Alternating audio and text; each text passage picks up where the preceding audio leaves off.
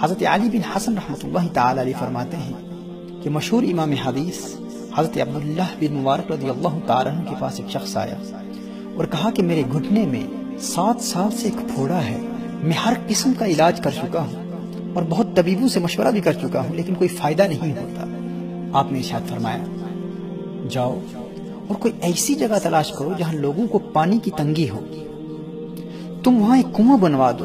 مجھے امید ہے کہ ادھر زمین سے چشمہ ابلنا شروع ہوگا اور ادھر ساتھ ساتھ تمہارا خون بہنا بند ہو جائے گا۔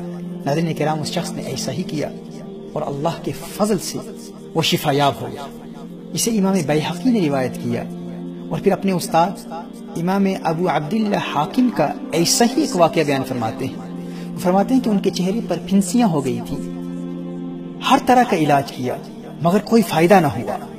امام ابو عثمان الصابونی نے نماز جمعہ میں ان کے لیے خصوصی دعا کی اور اس دعا میں موجود ایک عورت کو اسی شب نبی کریم صلی اللہ علیہ وآلہ وسلم کی زیارت ہوئی اور آقا کریم صلی اللہ علیہ وآلہ وسلم نے ارشاد فرمایا، قولی لی ابی عبداللہ، ابو عبداللہ کو جا کر بتا دو کہ مسلمانوں کے لیے پانی کی فراوانی کرے جب ایک خط کی صورت میں یہ پیغام امام ابو عبداللہ حاکم کے پاس پہنچا تو انہوں نے فوراً اپنے گھر کے سامنے سبیل تعمیر کروائی۔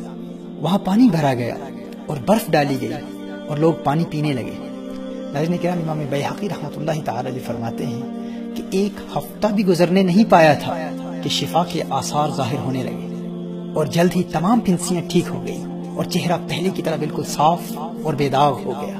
ناظرین کرام، پیاسوں کو پانی پلانے کی برکت سے نہ صرف انسان بڑی بڑی بیماریوں سے شفایاب ہو جاتا ہے، بلکہ آنے والی بڑی بڑی آفات و بلیات اس نیک عمل کی برکت سے ٹل جاتی ہے۔